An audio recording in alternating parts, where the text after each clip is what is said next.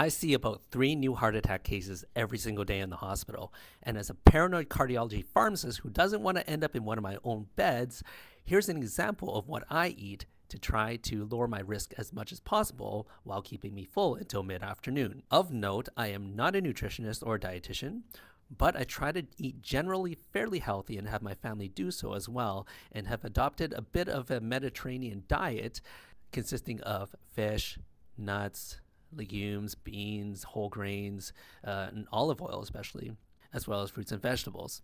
Even though the PREDIMED study that was done a few years ago did have its flaws, overall, I think there's still some positives in that it can still possibly lower cardiovascular risk by about 30%. So I know this doesn't look super duper appetizing, but what this consists of is the following. We have about half a cup of quick oats, two-thirds cup of cooked quinoa, half of an avocado. This one does look a little diseased. One tablespoon of extra virgin olive oil, seasoned with salt and pepper. And I like to top this up with some nuts. Today I have some cashews and some almonds. So the quick oats amounts to 150 calories. The quinoa also 150 calories. Avocado is half an avocado is about 80 calories. One whole tablespoon of extra virgin olive oil is 120 calories. Five cashews is 50 calories. 35 calories for five almonds. And today, what you see here, I've also included some young coconut meat.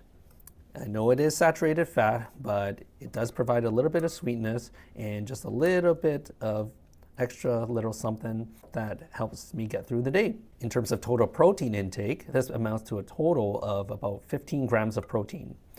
Not a whole lot, but I sometimes will try to supplement with like a soft-boiled egg or something too. So I hope this helps and give you some ideas in terms of what you can have for breakfast rather than going to something like uh, McDonald's and picking up a bacon and egg McMuffin or something, which does technically have less calories according to the website, but I do wonder sometimes whether those things are accurate or not. The website suggests that a bacon and egg McMuffin is about 310 calories.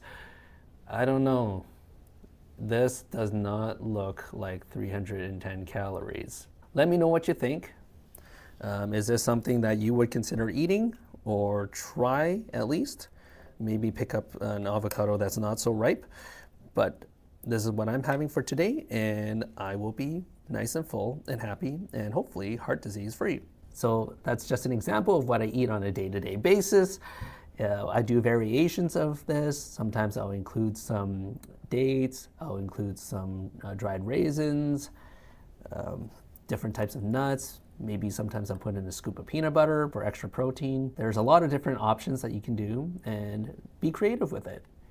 For me, as long as I'm not uh, consuming a lot of the you know ultra processed type stuff, it keeps me happy and my heart happy. This isn't exactly a medication related video, but I do think that nutrition is very important as well as medications.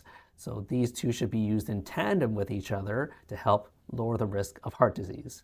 Again, thank you all for watching, and we'll see you in the next one. Say no to drugs.